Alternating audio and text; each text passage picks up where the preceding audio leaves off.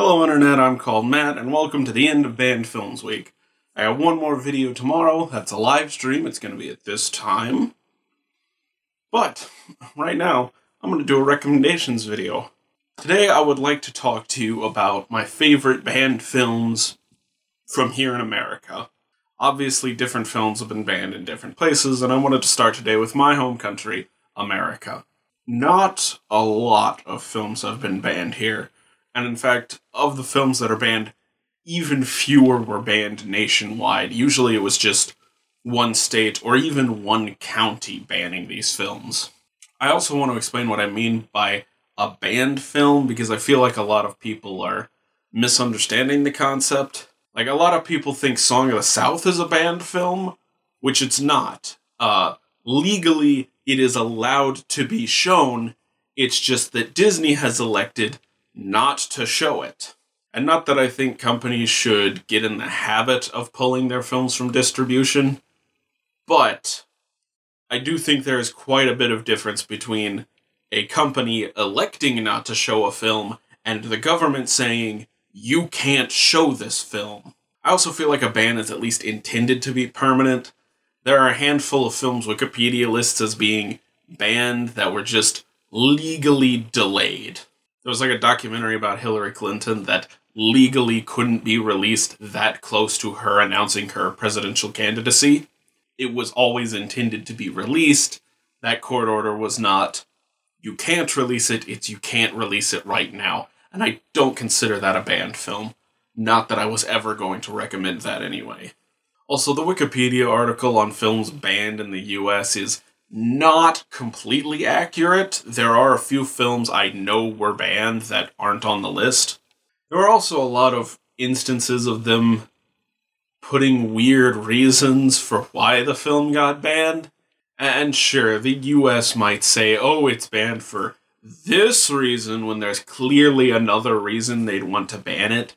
Take the film I Am Curious Yellow, a film that was very clearly pro USSR, pro communism, that got banned because there's a penis in it. I'm sure that's actually why it got banned. And then they toned down the communist overtones, cut that scene out, and released it as I Am Curious Blue. And it was a cool gimmick. We released the same movie twice and not just a, a censored and an uncensored version. Also, that movie is boring as shit, so we're not going to talk about it. Take our first example the 1961 film Victim, which Wikipedia says was banned in several cities due to language, and not because it's about a homosexual in 1961. Literally, you can click the article and just read this whole section about how it was banned because it had a homosexual in it. Victim is a very interesting film. It was a big step in uh, gay representation in film, and I can't believe it's as overlooked as it is. I feel like if you want to talk about queer representation in film, you basically have to start with Victim. Uh, the story follows a rich homosexual man whose uh, secret lover has just committed suicide over uh, a blackmail issue he's been caught up in. So the man, Melville Farr, goes to see what he can find about the people blackmailing his former lover and finds there are a lot of homosexuals in town that are also getting blackmailed by these people. And he spends the whole movie trying to track down these blackmailers and send them to jail. It's a British film from the early 60s, and at the time, I think it was illegal to be homosexual in Britain. Thus, these guys are blackmailing homosexuals because if it comes out that you're homosexual, you go to jail. Thus, what sparked the controversy. Of course, in Britain, it was released with only a few lines cut, but here in America, it was actually against the Hays Code to have homosexuals as a big plot point in your film until two or three years after this came out. So it does stand as one of the few examples on the list that was technically banned nationwide. Of course, it's a very interesting film. All the performances are great. The topic is really fascinating to get into, and I am kind of shocked that it's faded into obscurity the way it has when it is so important to queer representation in film. By the way, happy throwing bricks at Cops Week. It's finally here. I'm wearing my corporate sponsored gay shirt to celebrate. There's there's like a single green stripe. So that might disappear in front of the green screen. I could just mask it out, but I'm not gonna. There's just gonna be a hole in my chest. Just like internally. Next, I'd like to talk about Promises, Promises, starring the American sex symbol Jayne Mansfield, who was way better than Marilyn Monroe. Fight me. In this film, Jayne Mansfield became the first American actress to appear fully naked in a major motion picture, which is kind of what tipped off the controversy. It's about two, three minutes of footage of her naked, but they keep replaying that clip over and over again. Now, to be fair, I'm watching the 2019 version, which has not been edited at all, so it's very possible they put those scenes back in, uh, and it was not that lewd in 1963. Honestly, of the films on this list, it's kind of my least favorite, though it is a pretty funny comedy. I got a lot of laughs out of it. This is also the only directorial credit for director King Donovan, so I will almost certainly be making an episode of a filmography of one about it. So, that being the case, I think I'll just end it there. Funny comedy, Jayne Mansfield gets naked, it got banned. Next up, I'd like to talk about Scarface. And no, not the one from the 80s where they swear and do cocaine and kill a guy with a chainsaw. The one from the 30s about bootlegging liquor. I was worried about showing this digital code on camera, but it expired in 2012, so uh, if you want that, it's yours. There's no indication on this box that it includes the Scarface from the 30s. It's just a nice bonus. While overseas, it was things like horror films and particularly violent action films that tended to get banned. What got banned here in America much more often was crime movies. I guess under the assumption that if you glorified crime, Americans would do crime. So as a result, a lot of the films that got banned here, like Scarlet Street and Kiss Tomorrow Goodbye, are just crime movies. And of them, Scarface is easily my favorite. I actually think there's some very interesting connections to be made to its 80s counterpart because uh, both films are essentially the same plot, but they are both so of their time. Like the 30s Scarface is about a guy taking over a bootleg liquor operation during the Prohibition years, whereas the 80s one is about dealing cocaine, the popular drug of the 80s. There's also a huge disparity between what you could get away with in the 30s and what you could get away with in the 80s. As I mentioned, the 80s Scarface was not banned, and the 30s one was. This came out not long before the Hays Code was enacted, and I think was one of the big contributing factors to Hollywood creating the Hays Code. The Hays Code, for those of you unaware, was what we had before the current MPAA rating system, and it was basically just is your movie approved for theaters or not? There was no indication of how appropriate it was. So, pre the Hays Code, films like Scarface got released and immediately got banned in five states and a handful of cities. It's just a super fun gangster movie, one of the best of its time. If you like old gangster movies, absolutely worth the check out. And if you're a fan of the 80s version, which it is a great movie, I'd recommend you check it out as well. Moving right along, since this is in no particular order, let's talk about Tin Drum. Tin Drum is this fascinating surrealist film from 1979 that ended up not getting banned until 1997. Quick on the draw there, guys. It was also banned exclusively in one county in Oklahoma, but boy did they ever crack down on it. The assertion was that there was a scene where a little kid hugged a naked woman, and therefore, it's child porn. And police started raiding people's houses looking for copies of it, video nasties style. The film's really good, there's a lot to unpack with it in terms of like symbolism. Uh, it kind of reminds me of like an Alejandro Jodorowsky movie. It is a bit weird and it goes on a bit long, so I'd absolutely understand if this wasn't quite your thing. uh, if you're not into surrealist movies, this is just not going to be for you.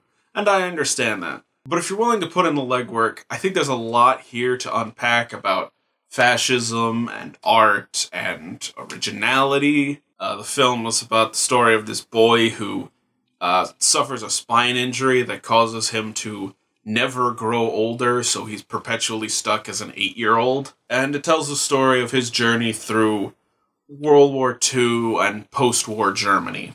I say it's surreal, it's not that weird. The story is fairly straightforward, but still, there's a lot of stuff there that is clearly not meant to be taken literally. Next up, I'd like to talk about Freaks from Tod Browning, the director of the original Dracula. Freaks is a very creepy movie about a bunch of circus freaks and the bond they share being the weird, the outcast, and how protective they are of each other. This leads to some creepy sequences, but oddly, it always feels sympathetic towards the freaks, even when it's showing them in these weird scenes. They're not doing this because they're like monsters.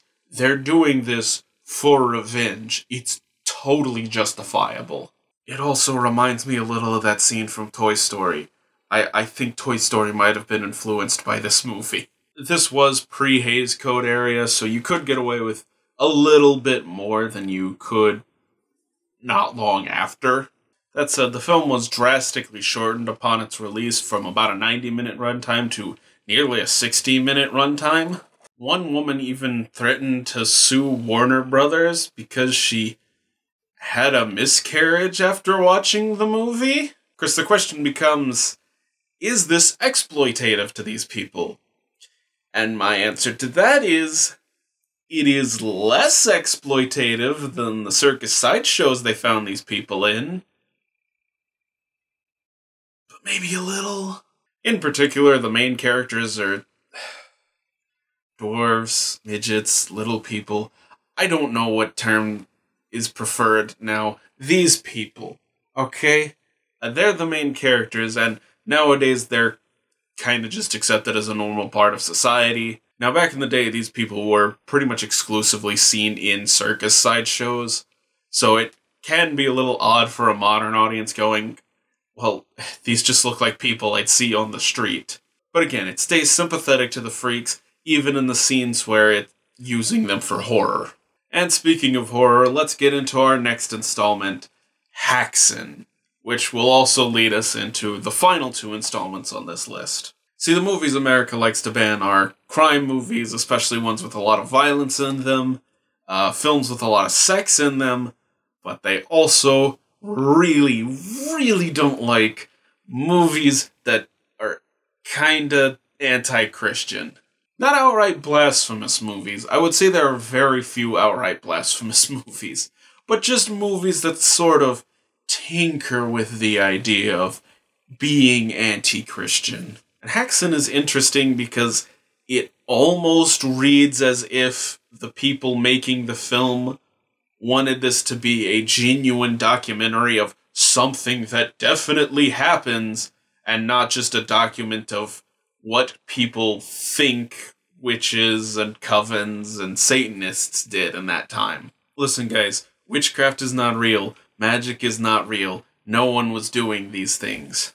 That said, Häxan does serve as a very interesting documentation of what people thought it was witches were doing. Additionally, it's just visually very stunning. Um, the appearance of Satan in this film has influenced depictions of Satan throughout cinema, everything from Legend to Tenacious D in The Pick of Destiny. It's fascinating, it's fun, it's so gorgeous to look at it genuinely stands as a great example of an early horror film. Uh, Häxan, in fact, is public domain. However, it was released as a silent film and was later dubbed over by a narrator. And I don't know if the version with the narrator is public domain or not. If I'm being honest, I think I'd recommend the version with the narrator. It's a little bit longer, it's got a little more information. Uh, and last I checked, it was on Amazon Prime, so hopefully that is actually public domain. But you know, if you want a good early example of satanic horror, Häxan. I'm still canonically trapped in hell, aren't I? These videos take place outside the continuity of Matt's Funtime Bad Movie Show.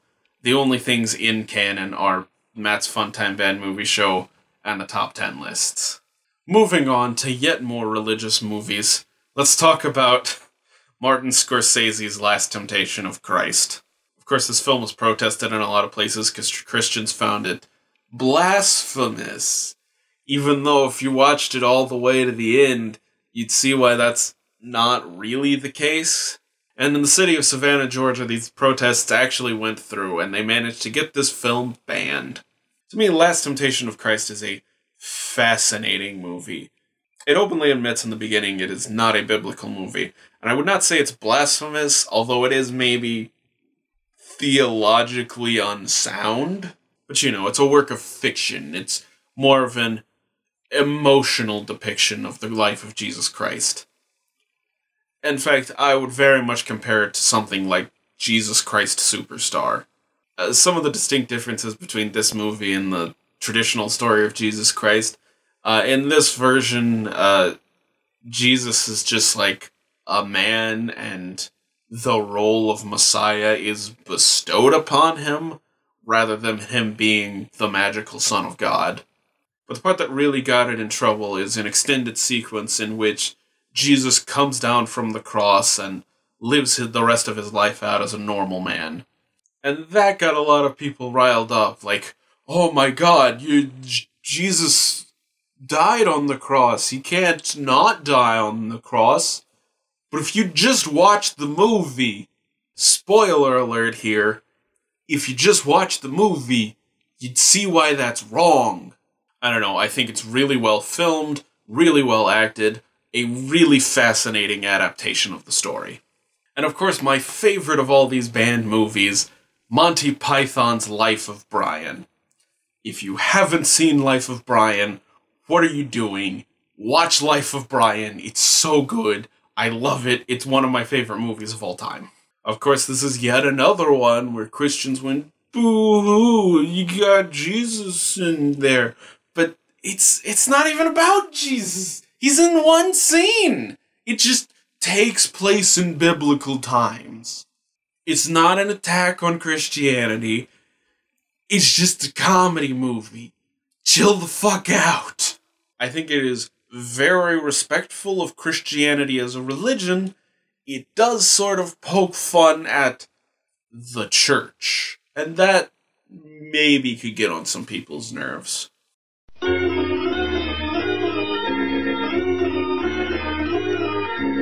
You know what is cool though? Life of Brian. It's a really good movie. Watch it. Well, that's all for today. Uh, I hope you're having a great banned films week. I hope you found some banned films you can go and watch yourself. And uh, until next time, I'm Matt, and I hope you have a nice day.